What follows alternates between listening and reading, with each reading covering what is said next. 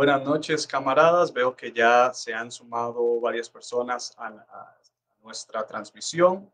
Este, les habla Oscar Peralta desde Las Vegas, eh, de la sección estadounidense de la Corriente Marxista Internacional. Muchos saludos a todos nuestros camaradas. Yo creo que podemos empezar ya. No sé si dar un poco de tiempo eh, para, que, para que se sumen más personas a nuestra transmisión.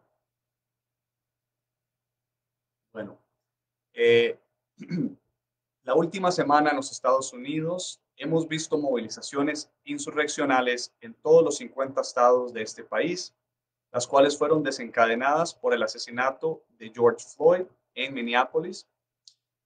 Él fue asfixiado a plena luz del día por un policía que le puso su rodilla en el cuello mientras él rogaba por su vida y otros cuatro policías simplemente observaban sin ayudar.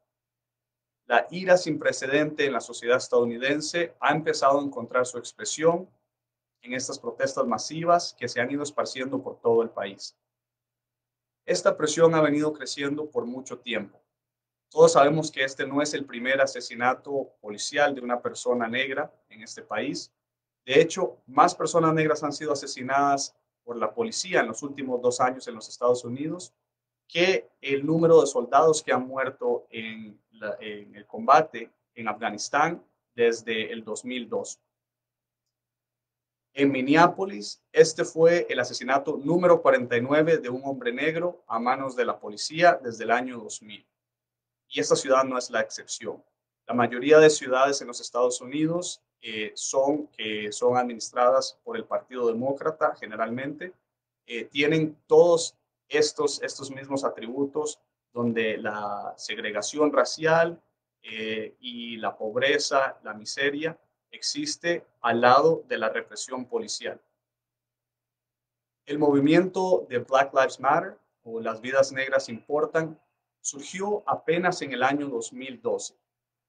Eh, como sabemos, estos asesinatos por parte de la policía se remontan hasta los tiempos de la esclavitud y vienen desde ahí, tienen sus orígenes eh, en la, policía, en grupos eh, de captura de esclavos que se habían escapado. Entonces, esto lo vemos eh, a través de toda la historia de este país, pero hasta el año 2012 empezamos a ver que, se le va dando más y más atención a este problema que no, que no disminuye. Esto fue em, en el caso de, de, Trayvon Martin, que era un niño de 17 años, fue asesinado por, un vigilante y eh, esta persona no, no eh, enfrentó consecuencias legales. Entonces, de ahí empezó este movimiento y desde ahí han habido un gran número de casos de asesinatos de personas negras que han recibido atención nacional. Muchos no menos brutal que este, pero estas protestas que hemos visto en los últimos años, 2014, 2016, 2017, solamente eh, se han limitado a las ciudades donde han ocurrido y tal vez a, a unas pocas más, pero jamás lo que estamos viendo hoy en día en, en 400 ciudades en todo el país e internacionalmente eh, se han manifestado en solidaridad a este movimiento para terminar la brutalidad policial. Este caso, como digo, no es tan diferente a muchos otros que hemos visto en los últimos años, pero llega un punto en que ya no se puede más. Esto sigue sucediendo una y otra vez y no hay nada, ni se ofrece nada por parte del Estado burgués que le ponga fin. En los ocho años del presidente Obama, el, primer presidente negro en los Estados Unidos, esa situación no mejoró para nada y nada cambió. Ahora con, Trump, obviamente la situación eh, sigue igual, pero ahora en un periodo de crisis aún más aguda. Entonces, esto ya, ya venía una presión acumulada y a esto se le suma el contexto en el que este asesinato ocurrió. En medio de una crisis económica y una crisis de salud sin precedentes, las cuales han revelado la podredumbre del capitalismo en su fase terminal. Tenemos hoy más de 110 mil muertes por el COVID y casi 2 millones de casos confirmados. Hay encima de esto 41 millones de desempleados que enfrentan un futuro demasiado inestable e incierto. La clase dominante ya ha venido presionando para reabrir el país sin importar las consecuencias hacia la clase obrera que trata como carne de cañón. En medio de todo esto, eh, la población de este país, que ya está eh, al, punto de, llamamos en una sociedad punto del colapso, ve que los policías continúan asesinando a personas negras inocentes y es así, en medio de todo esto, que este asesinato en particular desencadena un movimiento masivo de protestas. Como todo se ha dado tan rápido, quiero dar una breve cronología de los sucesos. Este asesinato ocurrió el lunes 25 de mayo, apenas la semana pasada. El día siguiente, el 26, fue cuando se empezaron a reunir en el lugar donde George Floyd fue asesinado eh, varias personas para eh, honrar su vida eh, y también para protestar en contra de lo que sucedió. Rápidamente la multitud aumentó a varios miles de personas y bueno, ya vemos que ha continuado. El jueves 28, un par de días después, y hace una semana exactamente. Buenas noches a todos los camaradas que están eh, comentando, por cierto. Eh, estamos ahorita hablando de eh, la cronología de eventos desde que empezó, desde que vimos el asesinato de, de esta persona inocente, George Floyd, la semana pasada, el día de hoy. Entonces, el jueves pasado, hace una semana exactamente, los manifestantes habían aumentado en números y en fuerzas, eh, que pudieron tomar el tercer precinto de la policía en Minneapolis, un edificio donde tenían al policía asesino. Y eh, vemos videos donde justo antes de que se le prendiera fuego al edificio, se ve la policía huyendo en sus carros, rompiendo las, las mallas para escapar de, la, de, las, eh, de los protestantes eh, y como dije, al, edificio lo prendieron en llamas. Entonces, vemos un, incidente eh, verdaderamente de insurrección. La noche siguiente desafiaron los manifestantes en Minneapolis el toque de queda el viernes pasado y en un momento inclusive forzaron a las tropas de la Guardia Nacional a retroceder. Ya para ese día las protestas se habían empezado a esparcer a muchas, muchas ciudades. Eh, esa misma noche, en Washington, D.C., el ánimo de las protestas afuera de la, de la Casa Blanca fue tal que a Trump lo tuvieron que esconder en un búnker subterráneo en la Casa Blanca. Acá en Las Vegas, donde, donde vivo yo, eh, creo que fue ese día que empezaron las protestas, no vi algo antes. creo que, que para muchos, eh, muchas ciudades fue el ver que los manifestantes lograron, tenían más fuerza que la policía, que los manifestantes lograron tomar un edificio policial que entonces motivó a muchas personas, les, les eh, demostró la fuerza que tiene una clase obrera organizada en la calle y entonces eso motivó a muchas personas a salir a la calle. Aquí, como, le, como les digo, eh, fueron pocos los reportes. Bueno, yo les doy mi, les cuento mi experiencia acá, pero así en muchas ciudades del país fue, fue de forma similar que se fue dando. Obviamente en las ciudades más grandes esto ha sido a mucho mayor escala. Eh, Las Vegas es una ciudad de 2 millones de personas, entonces, y donde estas cosas no se dan casi. Eh, les puedo decir que en los 10 años casi que yo he vivido aquí, las protestas más grandes han sido por algo así, eh, unas 100 personas, pocos cientos. Entonces aquí no se había escuchado, no se había organizado mucho, pero espontáneamente empezaron a salir eh, las personas a las calles a eh, anunciar protestas en, ciertos lugares y en realidad yo no estaba muy seguro de lo que estaba pasando, pero estaba, estaba viendo, estaba pendiente. Entonces vi un video, eh, sí vi, vi, un video de alguien que está en vivo, de alguien que estaba ahí. Y bueno, ya no pude aguantar las ganas de salir a estar ahí en solidaridad con ellos, obviamente siendo muy cuidadoso porque eh, ya se veía eh, la respuesta tan violenta de la policía en contra de los manifestantes. Y entonces, eh, bueno, por, mi familia que, que, me pedía que fuera muy cuidadoso, así lo hice. era una manifestación muy pacífica, había alrededor de unas 300 personas en total en, las, en el strip de Las Vegas, que es conocido, me imagino, por muchos, donde están todos los casinos y, y los resorts aquí grandes en Las Vegas. Entonces ahí mismo era que estaba un grupo de policías, como de 80 policías de un lado de la intersección, un grupo de manifestantes de unos 300, unos 300 personas. Eh, estuve ahí como una hora antes de que la policía decidió simplemente terminar la protesta con arrestos masivos. Entonces, de las 300 que habíamos, a unas 80 personas nos arrestaron, incluyéndome a mí, eh, incluyendo a dos periodistas también que estaban solamente reportando lo que estaba pasando. Y em, como les digo, o sea, supuestamente ese es el país de la libertad, donde se tiene el derecho de expresión, de libre expresión, de asamblea. Y en ese momento, los que estábamos ahí, que no habíamos hecho más, nada más que expresarnos verbalmente, eh, fuimos atacados, arrestados. Entonces yo lo puedo decir eh, de, experiencia propia, cómo es que está actuando la policía en estos casos. Em, así ha sido en todo el país, como muchos han podido ver, estoy seguro, por video, videos en, distintos, en distintas partes.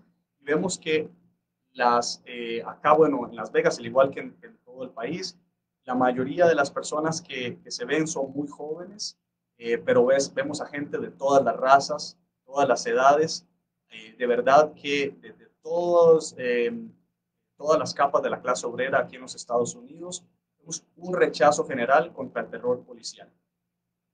De hecho, ha habido tantos asesinatos en los últimos dos meses que en varias ciudades la gente no estaba solamente manifestándose a causa del asesinato de George Floyd, pero también por casos de personas locales que han sido, han sido asesinadas en estos eh, recientemente. En Georgia eh, vimos el asesinato de Ahmad Arbery, eh, que simplemente estaba corriendo por, su, vecindario haciendo ejercicio y lo siguieron y parece que han surgido más noticias, pero lo siguieron, parece que lo golpearon con el vehículo, lo asesinaron.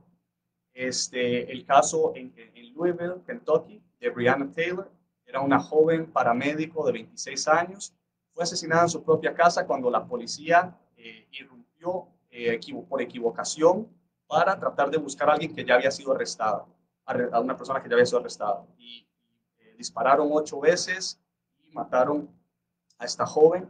Entonces los manifestantes ahí están también por este caso.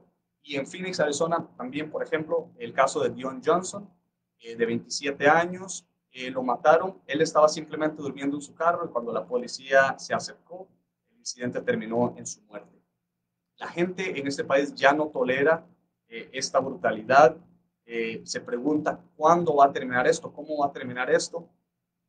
El año, y, y les digo, no hay, no hay soluciones por medio del Estado capitalista. El año pasado hubo insurrecciones en todos los continentes casi, eh, y en los Estados Unidos, eh, imagínense esto en octubre, noviembre, en los Estados Unidos, ya esto no se ve como algo abstracto.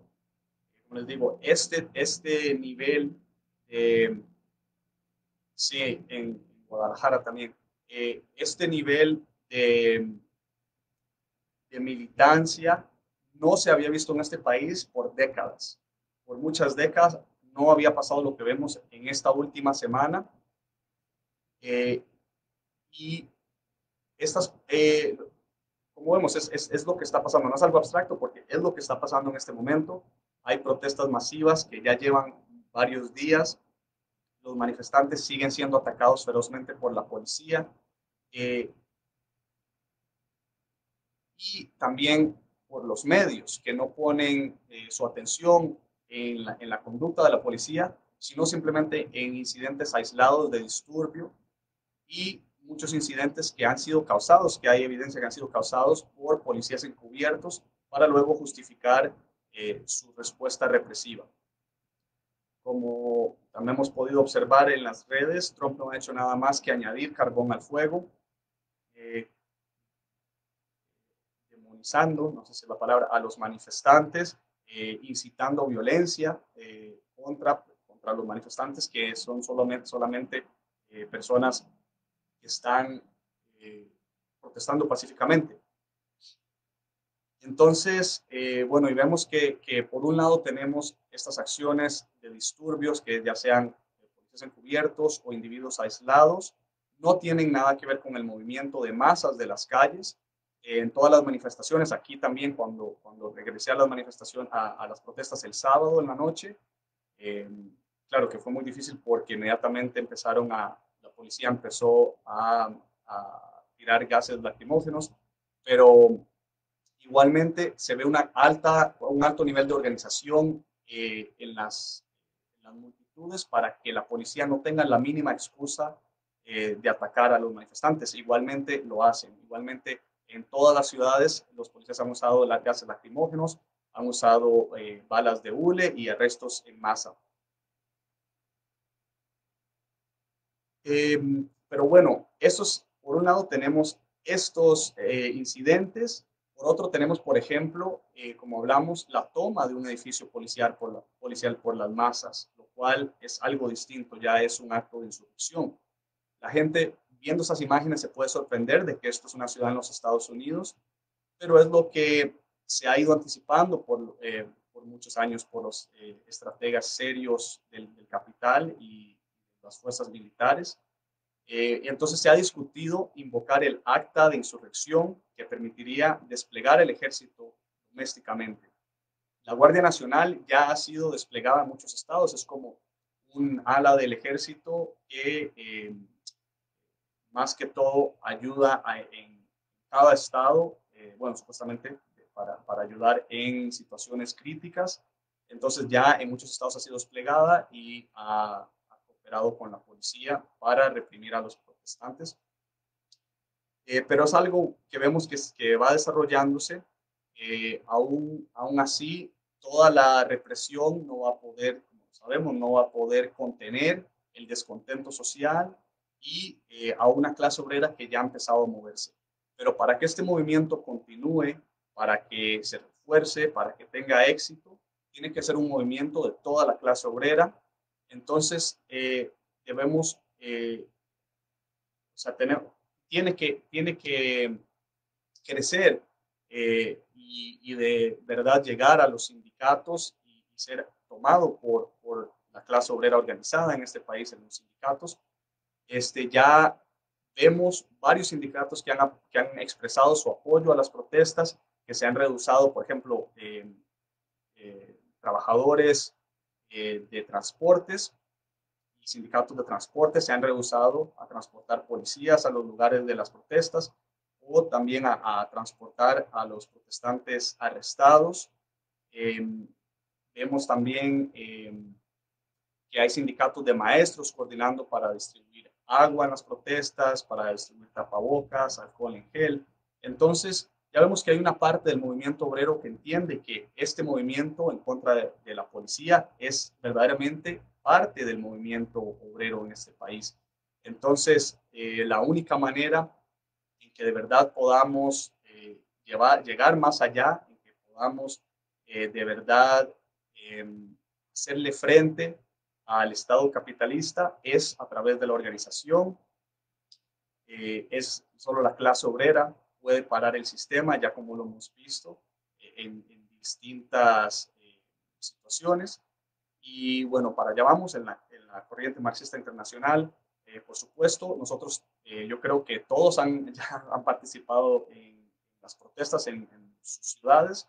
Ahorita en los Estados Unidos estamos, creo que en unas 60 ciudades ya tenemos presencia y eh, estamos activamente interviniendo en, estos, eh, en estas protestas. Tenemos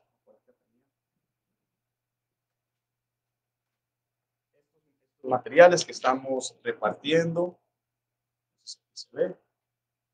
Entonces, luchemos contra la violencia de la policía con la revolución socialista. Y aquí está eh, algo eh, muy cierto que había dicho Malcolm X, que no se puede tener el capitalismo sin, no hay un capitalismo sin racismo.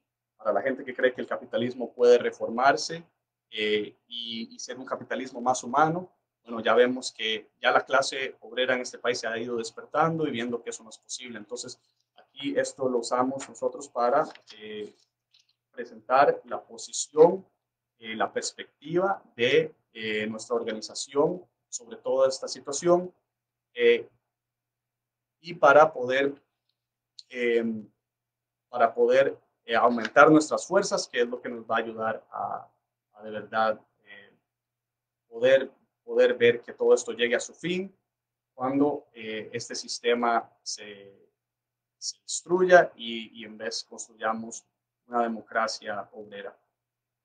Bueno, creo que esto es todo lo que tenía por ahora.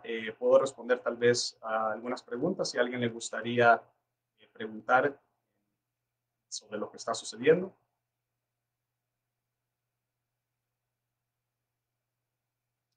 Pues eh, si no, entonces me despido de todos. Buenas noches y la lucha continúa.